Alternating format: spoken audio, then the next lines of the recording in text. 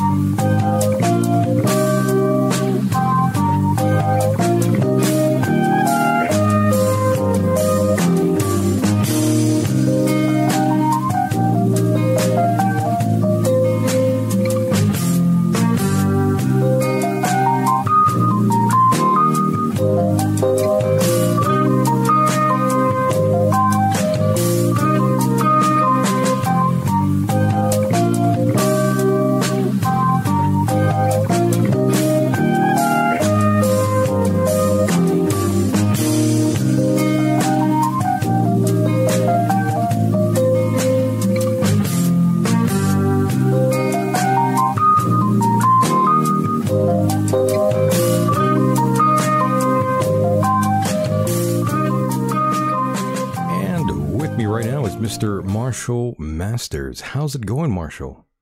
Hey, it's going good, Michael. How about with you? I'm doing great.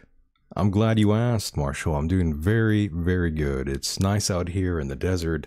About 80 degrees finally out here. Whoa.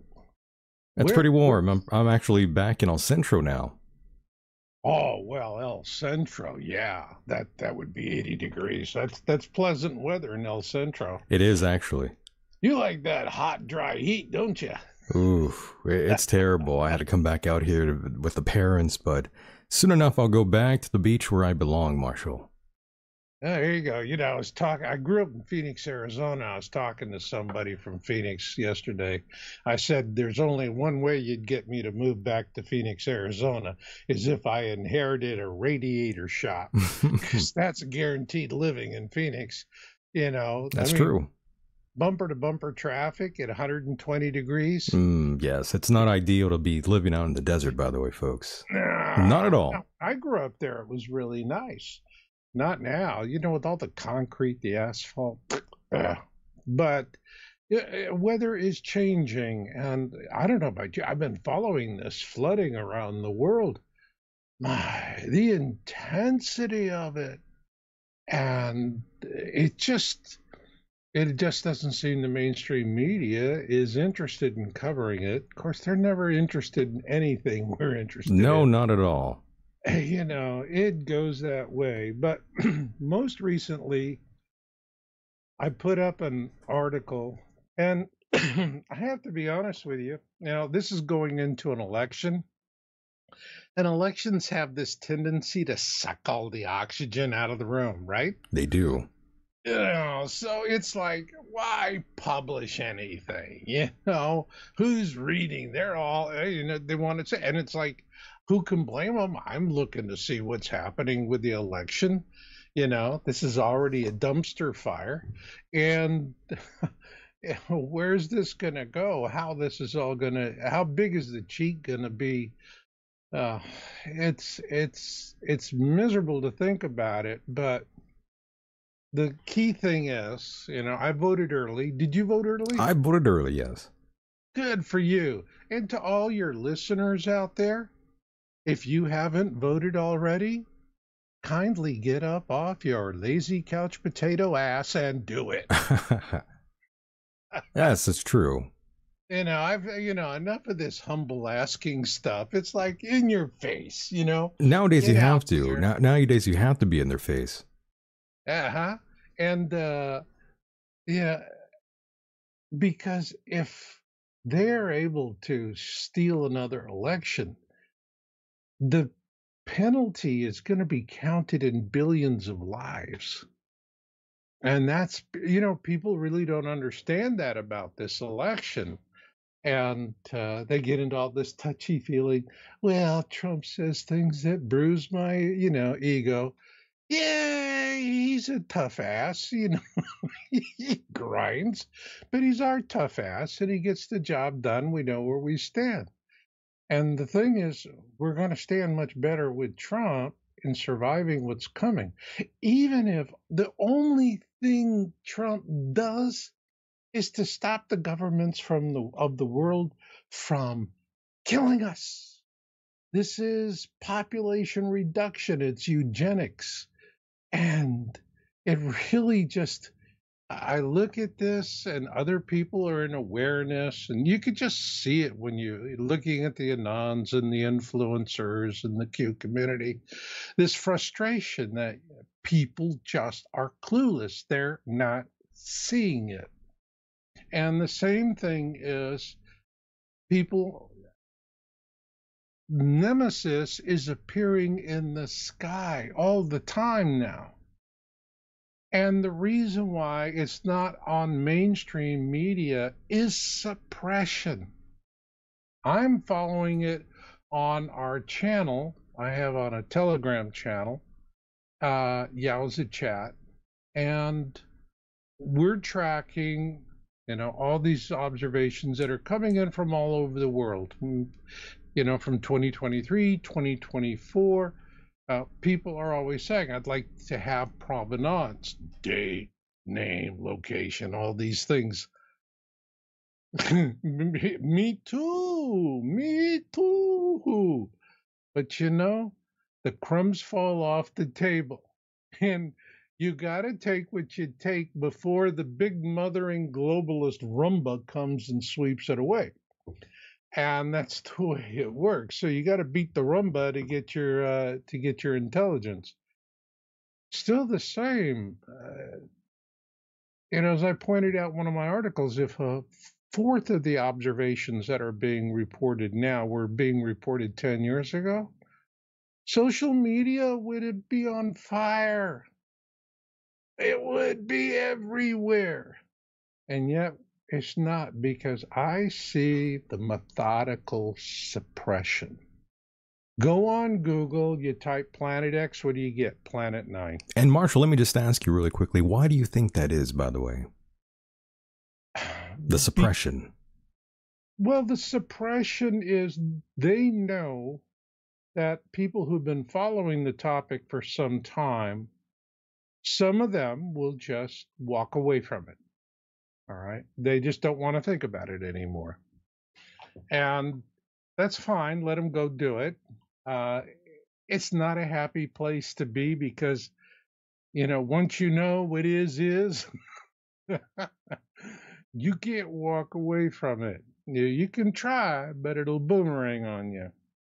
And um, we just, people, the main thing about it is people need to look up more often. If they would, we would have a lot more observations, but the suppression would still be the same. A, a video observation now goes up on YouTube, and not very often. We don't see as many on YouTube. We see them more elsewhere Facebook, uh, TikTok, so forth, X. Um, YouTube has methodically suppressed it. I can remember 10 years ago when we would put up any kind of thing, uh, the videos would get thousands of views. Really quickly, by the way, mind Very you. Quickly. Yeah, I remember. Now, if it, it, it, takes a month for them to get a hundred, to get anywhere, really. Yeah, to get anywhere. I mean, because the suppression, and it's like, I think perhaps that there's more people clicking into them than you see in the counts. But the, I mean, we know they're they're rigging the accounts. They got their thumb on the scale all the time. So this is part of the suppression. Uh, the goal that they're doing is the old hands like you and other folks and your audience, all right, you're all old hands. Been there, done it, seen it. They're not going to convince you to walk away. What they're doing is they're trying to get rid of the newbies, the people that are coming into awareness and starting to explore the topic. So you look at their tactics, what the first thing that they're doing is taking them in a different direction. It's misdirection is the big thing that they're doing. So Google, you go into Google and what is you type Planet X, they start feeding you Planet Nine. They start feeding you all kinds of sites that are saying it's a ridiculous conspiracy, you're a village idiot. Uh, it's all negative spin, and you know people that should be getting high stats. All right, are not getting the high stats, and what you have are the government disinformation operatives and their sites. They're getting all the traffic. So everything's manipulated. And what that's doing is it's weaning out the newbies. And that's unfortunate because coming into awareness about Planet X, you know, especially for people who've been in it for a long time, and it's easy to forget what it was like for you in the beginning, for because for most of you, that was years ago. I mean, uh, for many of you, it was in your childhood. It, it really was, actually. All right. Dreams, visions, premonitions. You have knowings of things. Uh, it comes to you. All right. And then people start to look you know, they have these dreams, visions, and premonitions, and they're trying to understand it. And then the minute they go on Google, what does Google do? Shit can the whole thing. You know, just turn it into a dumpster fire of disinformation, spin. Planet Nine. Planet Nine, by the way, is a psyop. That's all it is. It's a psyop. It does not enjoy the popular support of the astronomy community. It's Planet Nine in the astronomy community internationally is like getting Beyonce to draw a crowd so Kamala can walk in there and feel big. All right. And everybody knows it's BS. And if you know, and the last time she did, Beyonce didn't perform, she lost her audience. They walked out on her right there and then. Oh, gee, excuse me while I shed a single tear. and so that's uh, the problem is is that the newbies are going to come into awareness about the time. They should have you know by the time they come into awareness because they're all holding off. Nobody wants to be because they all watched people like you and i being called the village idiots right? For this and so they don't want to be called village idiots. And so they stayed away from it. But it's in the sky. It's in the sky. It's a big mother hummer. And by the, and, and in a, a period of months, not years, a period of months, it will become the largest object in the sky because right now, Nemesis, as we're uh, documenting in our science series, is in its point of perihelion. This is the part of its 3,600 year orbit where it comes closest to our sun. Once it completes this, it, it takes, you know, it, it's a matter of a few months to go through the perihelion phase where it is really picking up speed. Oh man, it's screaming right now.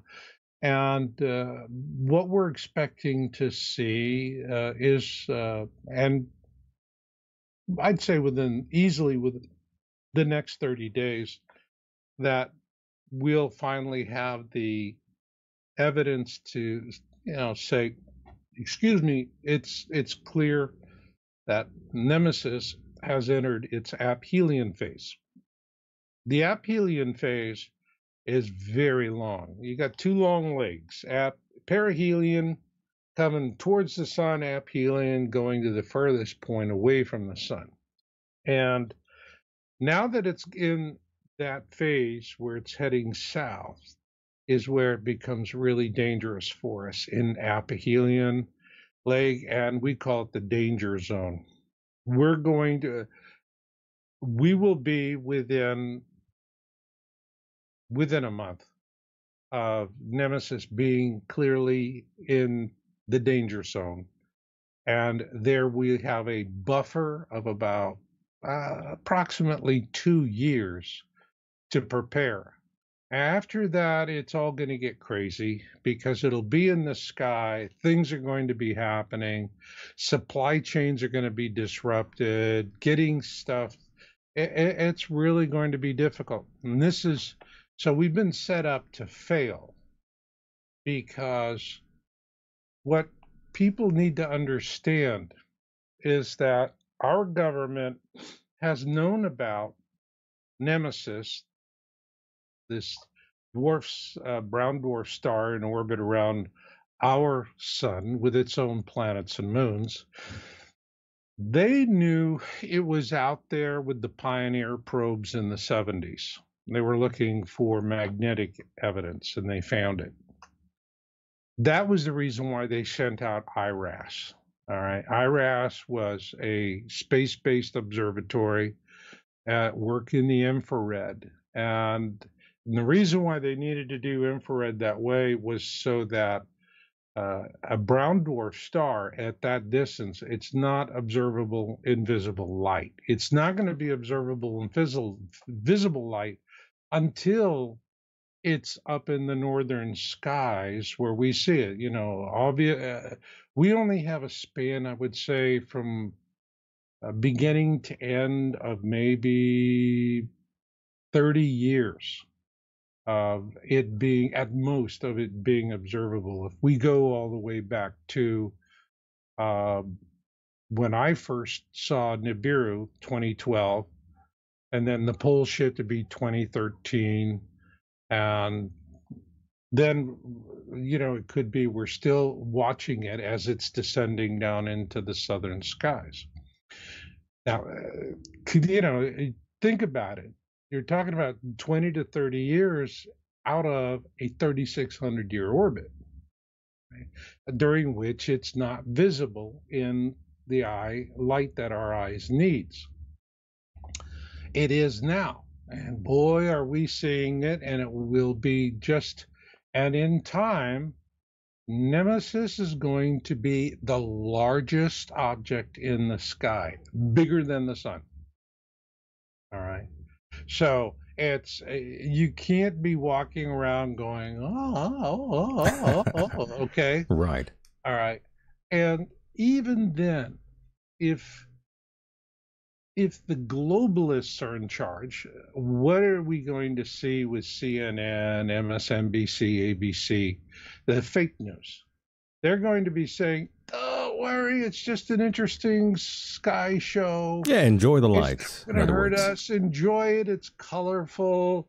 You know, will everybody will, and then you know they'll have a "Don't Look Up" campaign and all kinds of things, and by the time things really start getting nasty and getting people's attention, it's it's over. It's too They're late. Not going to have. It's too late. There, it'll be catch as catch can. Wow. Um, and here's the sad thing about it. You know, with the Pioneer probes, they knew something was out there. With IRAS in 1983, they imaged it, and uh, what they did and I learned this uh, from two whistleblowers who were military intelligence, one in the US and one was at NATO headquarters. And uh, they both read the same jacket. They didn't know each other, but in the course of their jobs, they knew this. They read, read the jacket. I see. And uh, these were the guys that worked inside the, the, the secrets vaults. They had the keys to the kingdom, they could see everything and they weren't that busy and so uh, they literally would just start pulling out file folders and reading them in in their free time and it blew their minds the kind of things that they were finding and so what happened with the iras was once nasa imaged it. They got it in infrared, and woohoo, boy, it stood out like a sore thumb. Uh, the first thing NASA did was they shut down the data feed so all the image wouldn't come in. What they told their stakeholder partners in the project was that the uh, cooling system for the onboard infrared camera had failed. Uh, it may sound odd. You have to have cooling for the camera because even though space is very cold, the camera has to be colder than the space around it so that it can image the infrared. And uh, they, what they did was they just changed the encryption codes on the data imaging download stream so no one could do it. So they they knew the data was coming, and they just said ignored it's corrupt data.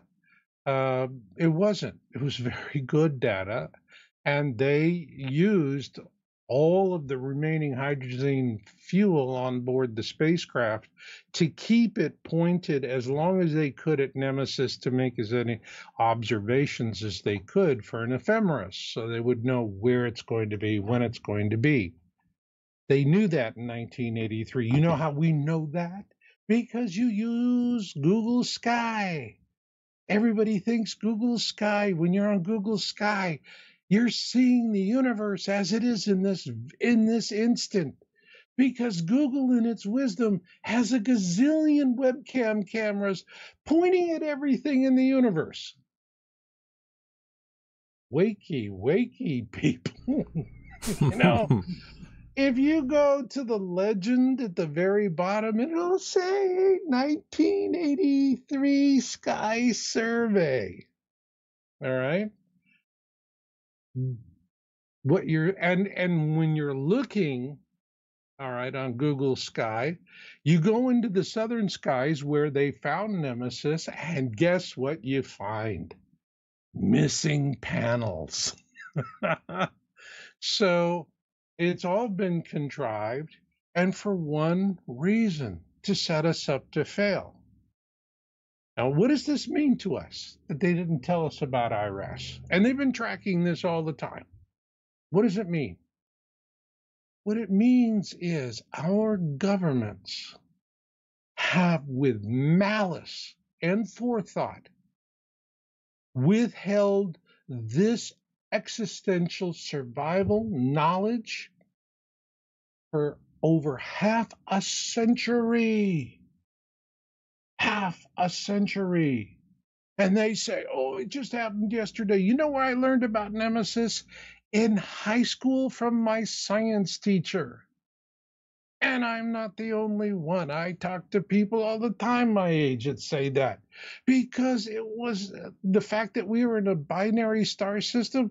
Everybody was talking about it. It was the talk of the day. It was amazing. And then in the then all of a sudden, boom, in the 70s it started with the shutdown, and the government started clamping down. So we have a government that denied us a half of a century to prepare for this. And the measure of that crime will not be in the millions of people who die, but in the billions. And that is the simple truth of it. So now, you know, you have a lot of people uh, that are now, it depends. People come into awareness at different stages. And unfortunately, uh, you know, if you look at just our political, okay, I mean, Planet X requires critical thinking. You have to be a critical thinker to follow this topic and understand it, research it, what's going on. Critical thinking is not something we do very well these days. Uh, about 20 to 25% of the population are critical thinkers, and the rest, what? Normies. No critical thinking. They're all emotional. Slightly autistic, yes. Yeah. To I be mean, honest with you, no, no pun. I mean, Yeah. no, no, No, I uh, think you're right. I think you're right. no disrespect, but yes. Right. And and the thing of it is is I feel sorry for these people. I, I'm not angry with them just because they're being foolish. All right. You can vote for whoever, you can believe what it, but it, critical thinking must transcend everything or you're lost. A good example of this is survival experts will tell you that it doesn't matter what's in your backpack. The three things that are going to determine if you survive is can you assess your situation, B, formulate a plan, and C, take action on that plan, even if you know it's not the best. All right. And those are the three things that save you. So you can have all kinds of goodies. But if you freak out, you freak out. It's reason why when people drive their cars off bridges into waters, you know, and uh, they they find the vehicles and you know bring them up and to claim the body and whatever, and they you you ask them and they'll tell you quite often they will find where the people have literally ripped off their fingernails trying to claw their way through the roof of the car. They don't know that even if you have an electric window, it'll still continue to work for a few minutes. So you can get your windows down. There's there's ways that you can survive in these situations, but they don't. They just freak out and uh, in in hysterical panic, they try and claw their way out of the car. And when we're looking at what's coming, that's not going you know, clawing your way out of the car is not going to be the right response. And at this point, it's it's not even so much as to what you have prepared. Uh, Everyone's going to have to go underground for this. All right. And that's the reason why I wrote my book, Win Win Survival Handbook All Hazard Safety and Future Space Colonization, because it is about building below ground communities. You don't have to go deep below ground. Five feet of earth cover is enough, uh, and it varies in my designs between five and 14 feet. And you're doing concrete domes, which are easy to build. We're not talking about really complex structures and complex, uh, you know, uh, manufacturing to support it. Right. We talked about underground bunkers before. We talked about the more luxurious uh, models, though, Marshall. Yeah, uh, well, with a win-win, actually, what I'm saying is that you don't treat it. See, the, the thing is, the difference between the win-win survival handbook and all these others. the big- everybody's yeah. talking about here, build a concrete box in the ground, and you're going to live there for three years. Right. It's like, can you imagine? You know, you're telling the family, "Hey, we're all going to get down into this wet, miserable, cold concrete box in the ground. Hey, kids, we're going to have fun, fun." Yeah. fun," It's like you a know? camping trip. right? You know, and then you wonder why they're all hiding behind the piano. And um, what I'm saying in this is that s- the basic thing that everybody does, they're always plan B thinking, plan B thinking. I'll create it over there because I'm making all my money here in plan A, and my life is here, and this is here, and that is there, but this is ground zero. You know, when the shit happens, it's going to hit here. And so I'm going to be able to get out of here to my plan B secreted little box in the ground before, you know, the guacamole hits the fan, which is really naive. Park, you know, freeways will turn into parking lots, and it's like, I'm not worried. I got a, I got a Cessna Caravan. I'll fly there. Really? What happens? What are you going to do when the FAA grounds all air traffic? Right. sneak up there and hope that an F-16 doesn't put a missile up your ass? All right. um, because it will be martial law at that point. And people do it. The way to survive this is people have to have a have a lifestyle, and it has to be a good, good lifestyle, life affirming, inspiring, hopeful. And so, what I, you know, the concrete domes create the most spacious, comfortable habitats underground. And because the dome is the single load bearing thing, you, you can make the interiors anything you want to do. Pirates of the Caribbean, if that floats your boat. All right. And you make everything beautiful. And when you're in uh, something like that, it doesn't matter what the temperature is above ground, hot, cold, whatever, you're 50 degrees. Right. And and Marshall, let me just add really quickly here to I guess the reality of this sort of situation. Given the fact that what we saw recently on, on television, it was plastered all over the place about the hurricanes, mm-hmm. it, it reminded me that America and their recent experiences with the hurricanes, they highlighted a troubling reality that the nation is not at all prepared for a major disaster. It's not. I mean, what happened in North Carolina, what happened in Maui? Yeah, that too. Oh my God, there was a crime against humanity. So North even despite advancements in technology, Marshall, we are still not ready. We are still not. Actually, we are absolutely prevented from being ready. And what's going to be critical to the success of these underground uh, survival is going to be power. And mm, right one of the things I'm finding on social media is there are guys that are taking basic equipment and creating power generators. And they can scale them to size. Uh, you can have them enough, big enough to power a house, uh, or big enough to power a small number of houses, a little community. And you could have numbers of those, and they just run continuously. They don't require fuel. So uh, with NESARA GESARA, with the globalists going out of power, we're going to have tons of patents and technologies that are going to come out, which are going to be essential for this. My hope is that there's a convergence, that the people are waking up enough that they go to the government and say, we need to mobilize. We need to, you know, and we can do this. You know, if I'm saying we got about two years realistically before the, you know, before the shit hits the fan. Yeah. And, uh, and it's going to be hitting the fan then. But I mean, it's two years, and then we're just not going to be able to do these things. Right. Uh, or do them, it's going to be much more spotty. But you know,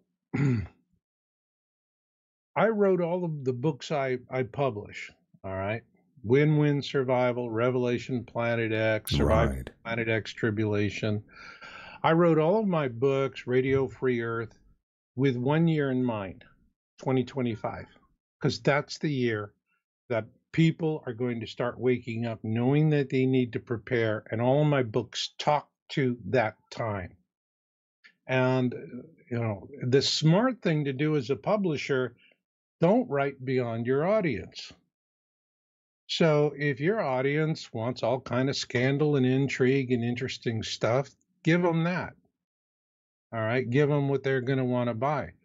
Uh, that wasn't my motive. My motive was in 2025 when everyone's pointing up at the sky and collectively pooping their pants, give them the tools that they need to quickly organize.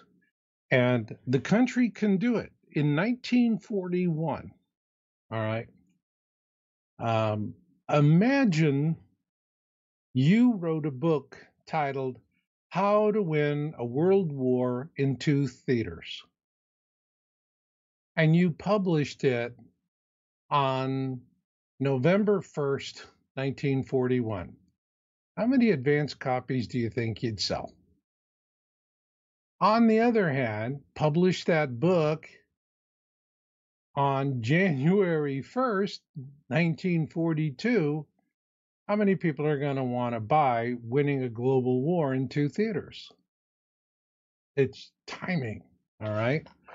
And that's the way it is. And when you look at what America did in 1942 was a massive rework of our industrial base and companies that were making pots, pans, refrigerators, and whatever, now they're making machine guns and ball turrets or whatever is needed for. And it was a massive conversion. And wars, you know, battles are won in the field. Right. Wars are won in the factory. You gotta have. We won the war because we flooded the world with tanks, airplanes, guns, all the technology to fight it. as vast quantities of things. And uh, we could do that again, which is, you know, it's really my hope that we do it. And I, it's possible with Trump because I see Trump dropping Planet X comms and that kind of you know flips people like what? First off anybody that's got two shekels to rub together knows about planet x. Oh vey. Okay? Now the rich guys they know. They know. And if you hear a rich guy who is telling you oh it's all conspiracy theory. I don't need to prepare for any of that be sure you're not standing directly in front of him, otherwise you will be impaled in his nose. That's right. You know, he's going to go poke, you know, that's it. Pinocchio, it's going to be the Pinocchio thing. And uh, because I worked with wealthy people in the lead up to 2012 doing bunkers, and I thought they were really s- superb. They were excellent. But now, what I think is we need to organize around churches for this because particularly independent churches, uh, the large, uh, you know, the bureaucracies, all right, the mainstream big churches that are run from the top down, they're not going to do so well. You know, it is a matter of survival of the fittest. And a lot of people, when they use that term, mistakenly think that it means the people who are the most athletic are going to survive. No, most mostly the most wealthiest will survive, by the way, because this is actually a very expensive endeavor. You know, you have to consider radiation protection and supplies. Well, yeah, if you know what you're doing and you got friends, you can do a hell of a lot with some shovels. But let's remember and keep in mind, though, Marshall, there are those out there that uh, have none of these avenues available for them. You can you afford a shovel? I can, but not some people can't. Though people that have got a shovel, and I can tell you how. That's you read true. My book Win Win, and I tell you if you're with 20 other people how to build a shelter to survive all of this.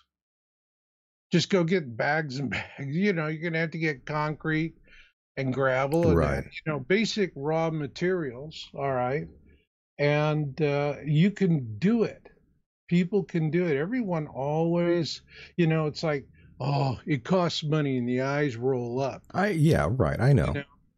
Absolutely. I, I see that all the time. You know, now for the people who are wealthy that I worked with, for them, they weren't the lunchbox Joe, the average person.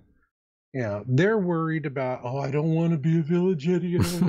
I don't want to be a village idiot. Yeah.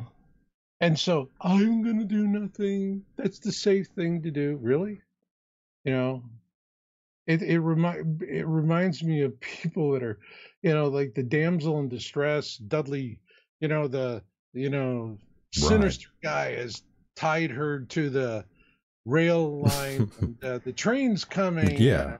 she's going, "No, it won't hit me." You know, thump thump and uh, people do that. They're they're you know they just go into denial. Denial is going to be the biggest killer. And Marshall, let me ask you this though: What do you think is more likely, a nuclear sort of attack, or maybe something else? Um, maybe an asteroid, or just the nemesis uh, coming down?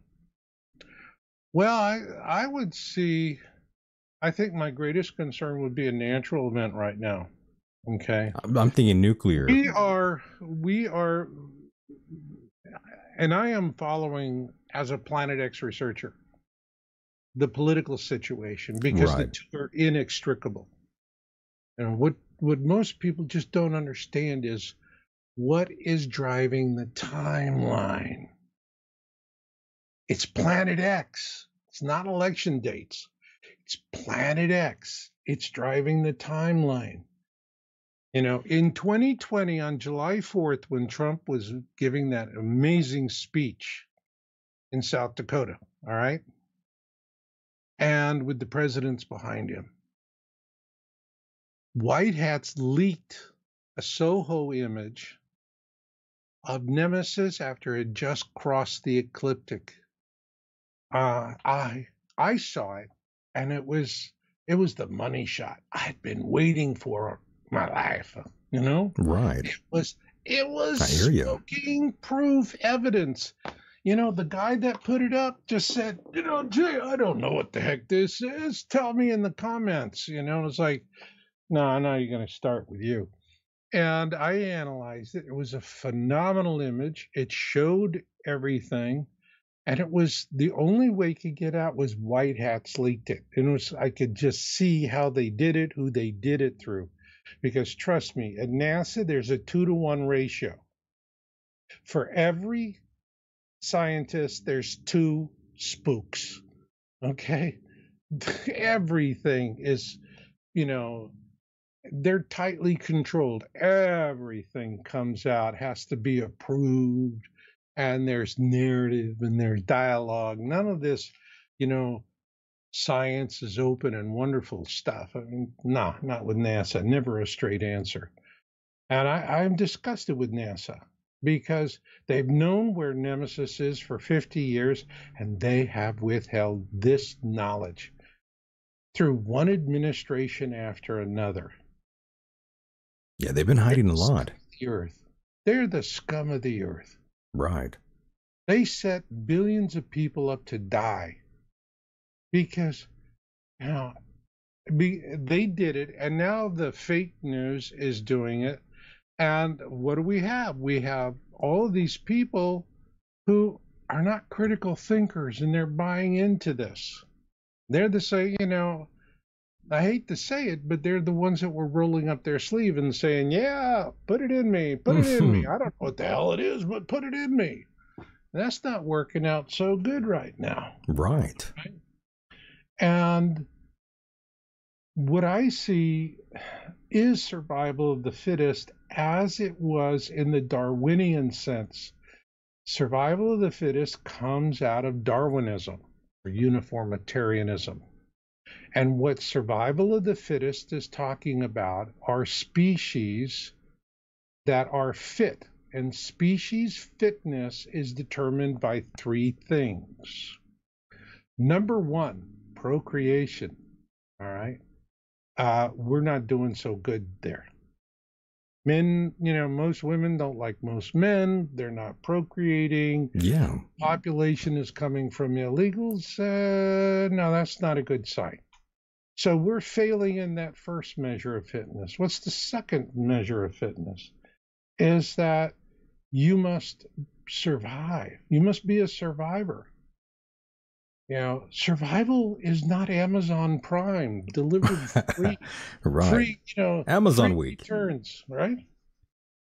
You know, and get it with a bow tie, and, you know, whatever you want to do. All right. So, when it comes to just flat out survival, again, we're not doing. We're not ready for that.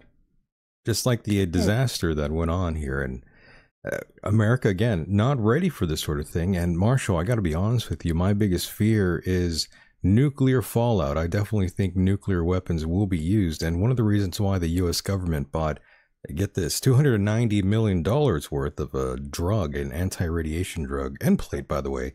And this was way back in 2022 our government always seems to have uh, foretold knowledge somehow.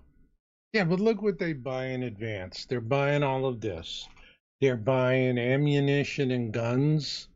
I mean, I why is it IRS agents need AR-15s? You know, the assault rifles and millions of rounds of ammunition.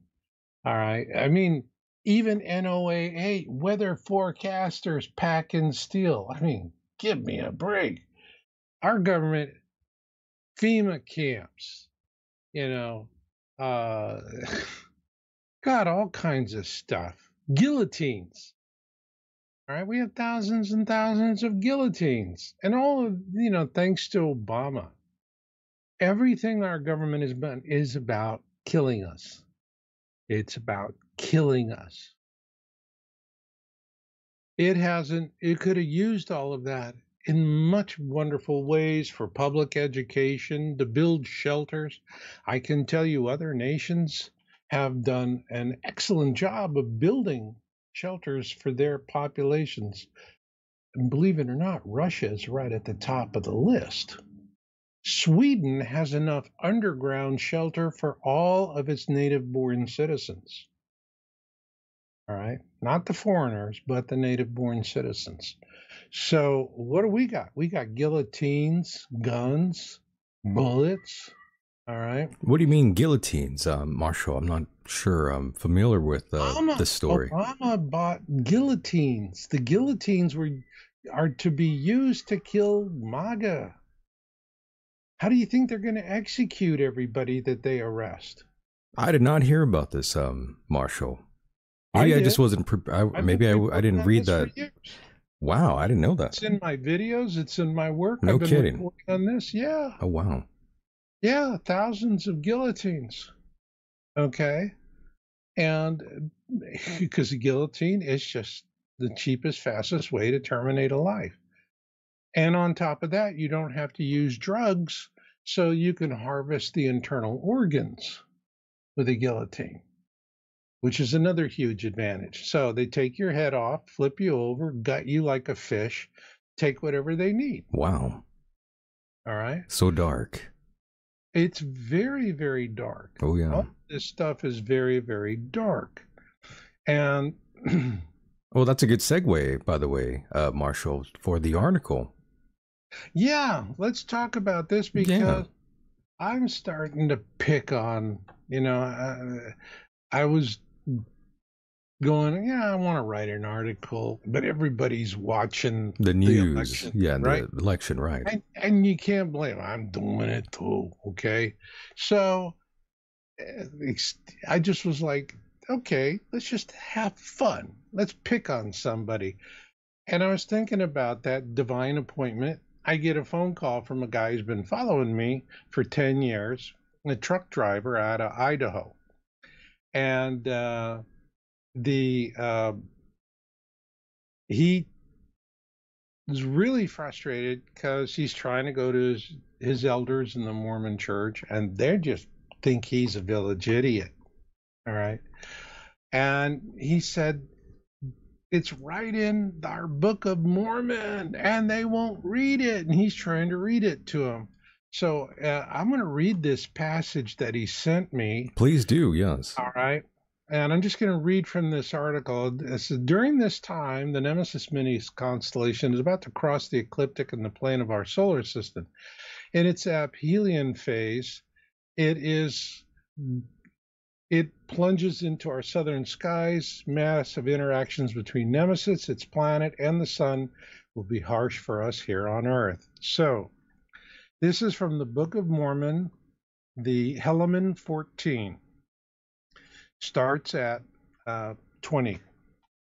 But behold, as I said unto you concerning another sign, a sign of his death, behold, in that day that he shall suffer death, the sun shall be darkened and refuse to give his light unto you, and also the moon and the stars, and there shall be no light upon the face of this land, even from the time that he shall suffer death for the space of three days to the time that he shall rise again from the dead. Now, that's the crucifixion, but what I find often with prophets is you have to understand they're seeing real things, but they're in a quantum field. It's it's not three dimension; it's dimensions upon dimensions. and what they're seeing, and they're trying to do it. And I see them talking about the same things from, you know, many different walks of life and different faiths. And here in 22, it uh, in 21 it picks up. And he goes, Yea, at that time he shall yield up the ghost. There shall be thunderings and lightnings for the space of many hours, and the earth shall shake and tremble. And the rocks which are upon the face of this earth, which are both above the earth and beneath, which we know at this time are solid, or the more part of it, if is one is solid, shall be broken up. Yea, they shall be rent in twain, and shall n- ever after be found in seams and cracks and in broken fragments upon the face of the whole earth, yea, both above the earth and beneath. And behold, there and behold, there shall be great tempests, and there shall be many mountains laid low, like unto a valley, and there shall be many places which are now called valleys, which shall become mountains whose height is great. And many highways shall be broken up, and many cities shall become desolate. And many graves shall be opened, and shall yield up many of their dead, and many saints shall appear unto many. And behold, thus the angel spoke unto me, for he said that there should be thunderings and lightning for the space of many hours. And he said unto me that while the thunder and the lightning lasted, and the tempest, that these things would be, and that darkness should cover the face of the whole earth for the space of three days. All right. Now, what I'm seeing there, Michael when I read it. And this is the part of prophecy that's that's difficult for people because you have uh, Mormon prophets, Catholic prophets, Christian prophets, Jewish prophets, right. prophets, and you know, and then you have secular prophets like Nostradamus and such. Um, these people were all looking forward in time space and seeing the future think about a trial, a criminal trial, and you have, say, 10 witnesses to an event. And all 10 witnesses are questioned on the stand. What does everyone expect? All 10 are going to have a slightly different version of the story. They're going to see different things. Different right, yeah. And if all of them are saying exactly the same thing, that would actually be suspicious because that would be contrary to human nature and would indicate that there's been coordination and collusion. All right. Well, you have people who have have and you know from multiple generations across a span of thousands of years you have people who have had the psychic experience very profound very disturbing of looking into the future and when you read them, they're all looking at the same point in time. They're looking at the same events, but describing them differently because they're seeing different things when they're witnessing these future events. And so that's the reason why you're trying to reconcile mm. prophecy A with prophecy B. Right. Okay. Is absurd. It's a fool's errand because language is two dimensional. Think of uh, when we think, we think in terms of lists, right? A, B, C, D, I'm boss, you're employee. So everything is rank and order, has to be organized. Everything is in, we think in lists. We're list thinkers, we're two dimensional. This is the reason why it's so easy for the globalists, the Satanists, to manipulate us. Because the, what they use is the precision of language. You know, a good example flying saucers became UFOs, and now the latest is their UAPs, right? Right, yeah, UAPs. That's the precision of language. Change the definition. And and we've seen a lot of that in the later years of our lives. Of that, that's oh, right. Oh, yeah. And so you can't reconcile. All right. When you are a psychic, all right, and and here, I mean, my books, I I am a psychic. I use my talent for research. You know, it's that's what I'm doing. I'm writing the book and, and I'm working with the guides and I'm saying, okay, I have to solve this problem, this problem, this problem. And they help me and they lay it out. So your dreams, I take it, are very uh, vivid and, of course, it's almost like you're having uh, premonitions. I would have to imagine. Well, I have waking visions, and then I, there's times I just channel. I talk to them. You can, everybody can talk to them. All right, you can talk. Uh, you know, as a, uh, you can talk. Sure. People talk uh, all the time. They say they're talking with God. They talk with Yeshua. All right. I have no reason to doubt that. And we just don't understand. We have so much more ability than we think we have because we've been dumbed down. We're numbed. We've been numbed. You know, you go to the dentist and they, you know, jab all that Novocaine up into your gums so that it'll be numb, you know, and he can drill away, right? Without you flying out of the chair and beating them to a pulp. That's right. And, you know, so it, it works out that well. Um, what folks need to understand is that prophecies, and I'm seeing convergence of prophecies. I'm seeing people who have had psychic experience, and my heart goes out to the people that do this. All right. I don't, you know, for me, it's not about we got the right guy, you got the wrong guy, we're the good religion, you're idiots, you know, this kind of stuff. That, and that's what we do. Right. And by the way, it's interesting that you brought up uh, this uh, Mormon and, of course, the three days of darkness which I've been knowing about since uh, the early 90s, thanks to Father Malachi Martin appearing with Art Bell all those years ago. Right. I- will get into that in a second, but uh, on a quick note, the Mormons, they have some very peculiar beliefs, uh, especially when it comes to heaven. They also have three levels of heaven a celestial kingdom, a terrestrial kingdom, and a telestial kingdom, which is, I guess, the, the lowest part of heaven very interesting beliefs, in my opinion, uh, Marshall. Do you do you subscribe to uh, some of these beliefs? Uh, no, I'm a go it alone guy. You're go it alone, okay. Great relationship with the creator, right? And um, I'm on that boat too. I, I have to say.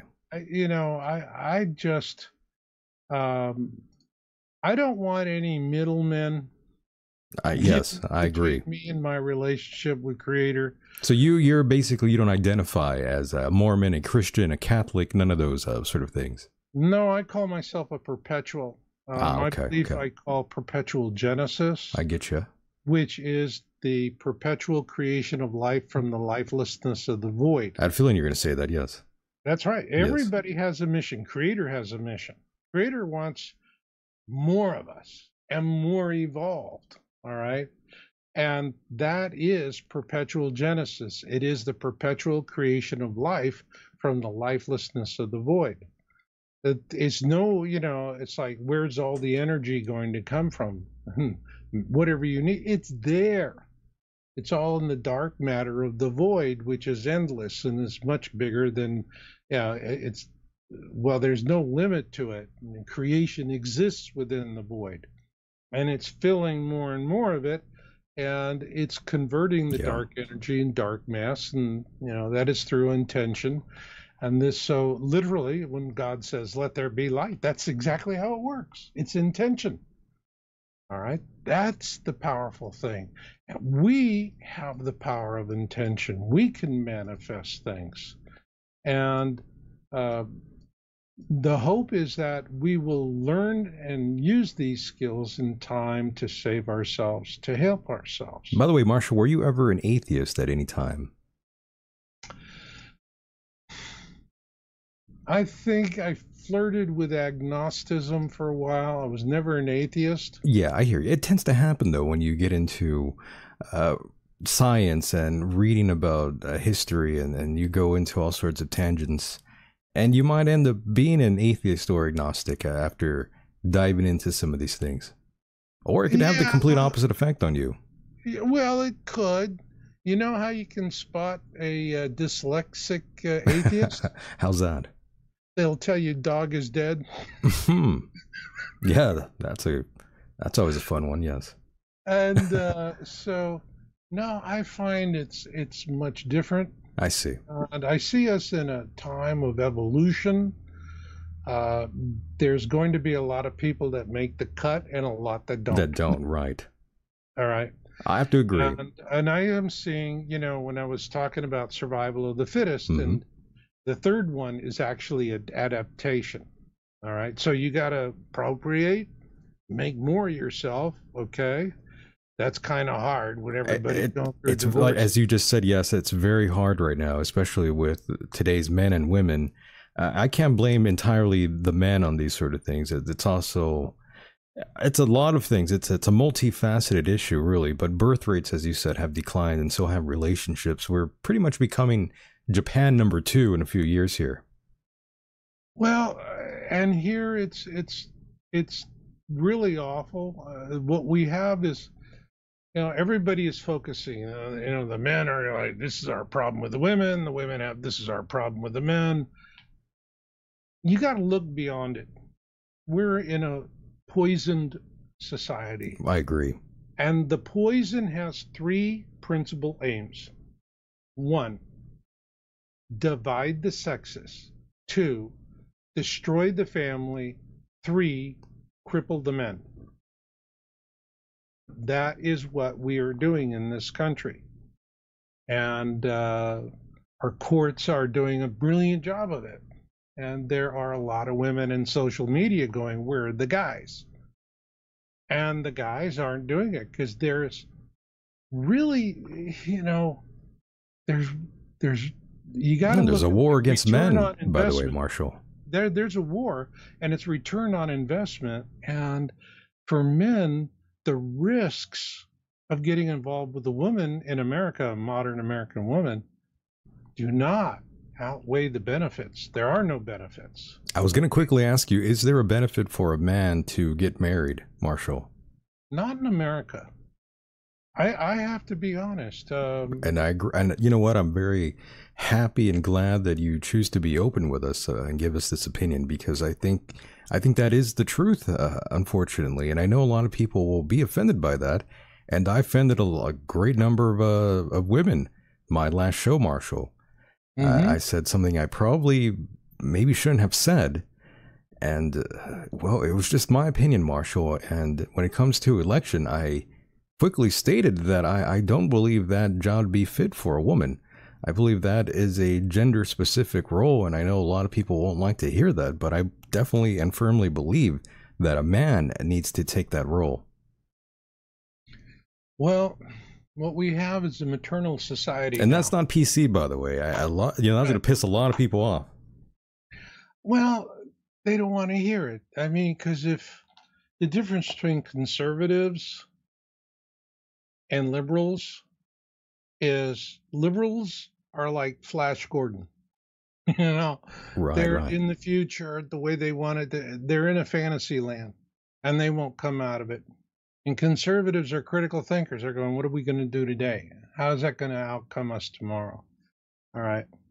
And I'm not interested in taking sides because I am seeing a natural process, the Right. survival of the fittest. Correct. Again, let's go back to this. This is really important. I'm hearing you.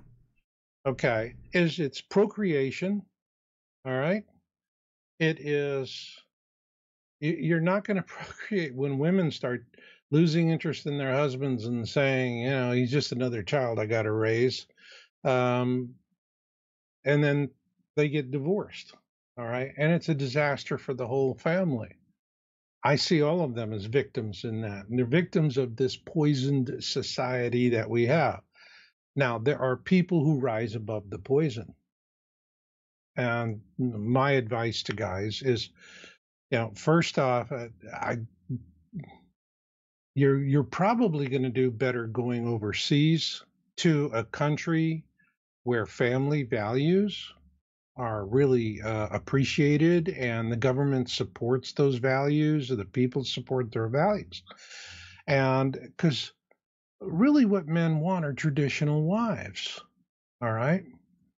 You're not going to have a traditional wife who doesn't trust you, doesn't think you're necessary, and doesn't respect you. All right. Because she's caught up in some sort of socio political drama. And it's unfortunate.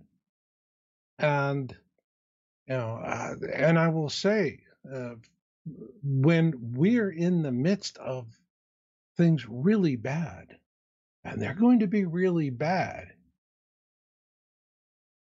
the bottom line is, you know, men are the ones that drive the trucks, clean the septic tanks, do all the dirty, hard, miserable jobs, fight the wars. Okay. And right now, uh, women have had a free ride because the courts have given them a tremendous amount of power. And this is not to take away from the women who have legitimate grievances, and uh, they've been they've they've been hurt in marriages. I just see a system that is poisoned and it's designed to bring out the worst in us and not the best. But I'm going to be very specific about what life is going to be like to survive when when society collapses. All right, this is gonna this is gonna be a collapse. Governments are uh, are going to fail. They're going to have a hard time dealing with all of this, and it's going to be catch as catch can. It'll be like Venezuela. And unfortunately, farming. I mean, it's going to be bad all over and so for women today that oh, they hate men or they you know they're just negative on it or they're they're not looking for a guy to build a life with. Can women That's ever be uh, uh, Marshall? Let me ask you a very serious question. Do you think women can ever be happy? Well, you'd have to ask women. you know, I've never I met a happy one, Marshall. I, I, know for a fact that they, uh, I, I have through science, great study and discipline over the years, I have determined the exact day, the exact day, the exact day men will understand women completely. Really? Yes, it'll be the day before the universe ends. We're slow. Uh, yeah, I agree. Okay. So we just, you know, guys, you got to do your funny. thing and do it. But ladies, all of this hate, I'll tell you where it's going to get you. Unless you're some sort of Amazon who can armor up and do everything and dig trenches and whatever you're going to do. If you can't do what a man does, and you can't find a man that wants to put himself on the line for you, you're going to be left with only two major sources of protein bugs and semen. I hate to say that. It is a hard thing to say and it is brutal because I'm trying to wake you ladies up. Hate is not going to get you through this. Hate, anger, being unhappy, all of this, you're the one who's going to get hurt more about this, not the men you're raging and ranting they'll find women who are traditional and who do appreciate them. Right. And they'll have wonderful lifetime partnerships and they'll pull through this. But the people have been so busy pissing on each other, they're not going to have what's necessary to to come together and work. They're, they're, it's it'll all be self-defeating. And so all of this nonsense that's going on you know, uh, to them, I just say, hey, lamb chops, you're having your fun. Okay. But everything has outcomes. I blame the internet partially, Marshall, for the way uh, some women become influenced by their friends. I mean, before social media, they weren't behaving as outrageous as they are today, men and women both. Uh, I yeah, think I think yeah. social media has uh, really driven that up. The fact that we're able to be so connected, and oftentimes, Marshall, I say this on the program, I miss the times when we weren't all so connected.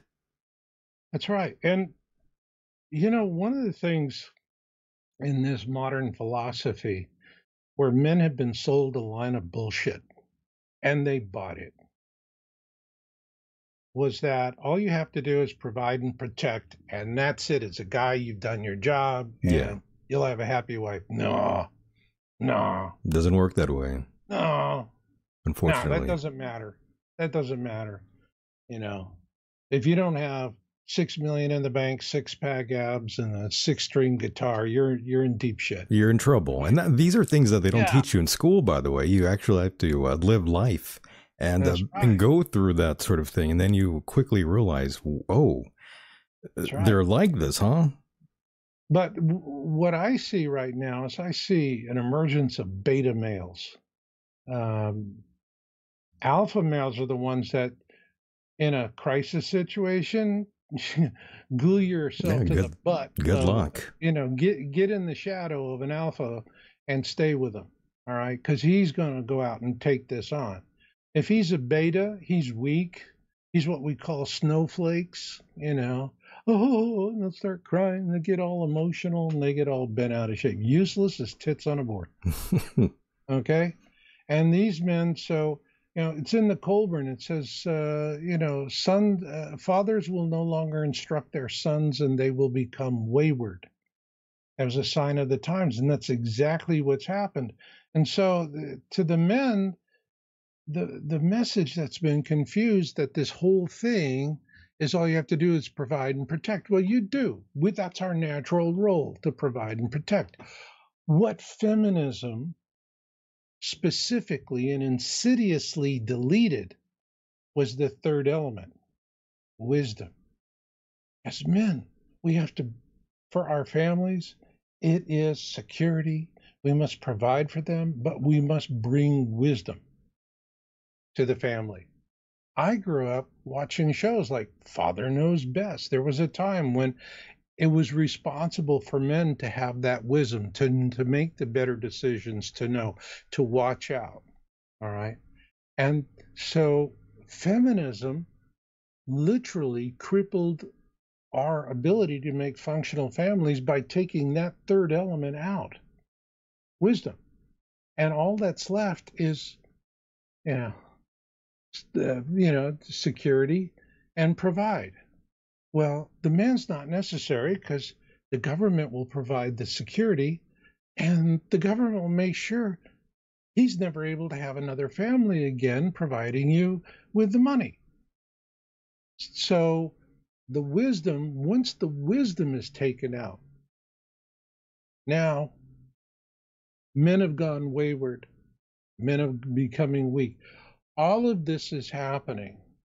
I see a natural process of selection, and it is going during what's coming, during what's coming, and even with Trump getting in, I see, I see Trump and the Patriots. They could, they could save people. Maybe we don't have as many that die, but it's still going to be in the billions. The question is, is it's two or three billion, or is it six billion or more? It's globalists, that'll be six to seven billion, even more than that, probably, down to a half a billion. That's what their whole aim is. That's the reason why the jab, that's the reason why they withheld all the information about Nemesis for a half a century. It's to reduce our population. All right. And we've been withheld. To, to come back from this, it is going to take the fittest amongst us, the ones who quit this political nonsense and idiocy and say, we have to procreate, we have to survive, we have to adapt. Those are the three things you have to be fit as a species procreate, survive, adapt. And we're not adapting. We're not procreating. And we sure as hell are not surviving for the most part. So I know that there's a few of the people out there that understand this. You're already thinking it, you know it. You haven't said it because you're waiting for some idiot like me to be an, to be the village idiot. Okay, that's hey, I you know I signed up. Fair game, fair game, yes. fair game. All right, and I'm glad to help you out. But I know there's folks, you know this, because I'm talking to you people. I'm talking to you. Yeah, and then I hear the rest, you know, and they're all about as dumb as a box of rocks. You know, saying, you know, I just wa it's it's people that use contractions. Don't, won't, couldn't, shouldn't. Oh, watch out for people who use contractions. Those are losers looking for a nightmare to turn into another nightmare. And uh, avoid that. So people, I can't believe this wouldn't happen. This shouldn't be right. And so forth. Negative contraction after negative contraction. It's closed minds. I will tell you, the majority, even with Trump and the Patriots coming in, there's too much time lost. There's not enough that they can do. I see the trouble that they're having trying to wake up the public and get them into awareness. In fact, uh, you know, I saw one thing and it was on Nino's Corner and he was uh, with Juan O'Savin, and I saw Juan starting to talk about earth changes, Mm. and he was talking about something goes directly to what we're finding in our research, and he was trying to broach this topic because they're they're saying, well, you know, it's likely uh, some sort of natural event will disrupt uh, the election. They, they, they think it's a natural event or something we don't see, a, a black swan, right? And and I've seen the white hats. They're they're always out there and they're working their material, and you think they're rambling, all right? They're not rambling. What they're doing is they're probing. They're looking for a way to explain something so that the audience can grab it, reach it, and process it. And I've seen them with trying to get the information out, and it just falls flat. You know, people like go, "Well, what's that? Uh, maybe I don't want to step in it." You know, and uh, yeah, so uh, it makes me doubtful that as I, and I there's no question in my mind, you know, they get into office that there's going to be a shift to start doing this and that we'll start seeing nemesis in the sky. But people being what they are, they're going it it takes time to come into awareness and to come into understanding about what's going to happen. People always forget. I say, you know, how many years did you study this before it finally clicked? Before you could start seeing it. Now take that whole experience and compress it into a matter of weeks or months for people who know more about denial, you know, than where the capital of their state is. And this is the problem. We I, we're burning the candle at both ends and nobody even knows there's a damn candle. And that's the problem. And so easy, it's easy now to say things like, let's wait and see. I don't know about that. Da da da da da da da. No, it's coming. I see it. I'm seeing these observation videos coming in on my uh, Telegram channel. You go on my site, yowusa.com, and you'll see all my social media links in the left column. And I have a couple of Telegram work groups down there. And uh, there's the YOWUSA Observations, is the one. And you'll see all of these uh, Tucson of the sky observation videos that are floating in from all around the world. And people are talking in them and they're saying, I'm seeing this, man. What the hell's this stuff, man? This is some bad shit, you know? And they're really, they're seeing it and they're feeling it. And the what's unquestionable for me is Nemesis is showing up to more people all the time. But how many pull out a smartphone and record it? Not as many as you'd think. And so it's showing up. We're not looking well. I still I have people and they're sending me stuff and I'm going, yeah, you got it. And it's they'll have a picture of the sun and it's like fully zoomed out. So the sun is just tiny little thing and then there's a little dot next to it and they go, "Is that Nemesis?" And I go, "No, that's a little dot next to it." there's no resolution. I can't tell you what it is. Zoom in on it. All right. Little things. Put in date time where you were. But all of this is moot because, as I said, it's it's just a matter of months before uh, going into 2025 that Nemesis will be a regular fixture in the sky. What's amazing to us is the amount of time I can see it. Now, I first saw Nibiru, which is the outermost planet of the Nemesis mini constellation. There are three major planets there's Helion, which is a gas giant, Arbota, a rocky planet, and Nibiru, a rocky planet. It's the outermost. Nibiru is uh, is translates to the planet of crossing, and I saw Nibiru live through a uh, webcam, high definition webcam from Turrialba volcano in Costa Rica on December 26, 2012. And uh, this actually started before then. I had an expat who was living on the flanks of the Turrialba volcano, and he said, "Man, we we got this thing popping up all the time, every day. We're seeing it for about 15 minutes." And I I tried a couple of times, and I was just impatient. I didn't put enough effort into it. But the day after Christmas. Everything's quiet, you know. I'm sitting here eating my turkey and cranberry sandwiches. Love those. And, you know, I sat down and said, okay, I'm just going to sit here and watch this webcam. sure enough, Nibiru popped up for 15 minutes just before sunset. And uh, we put together, I put together a group of seven, uh, I think it was seven observers. And we were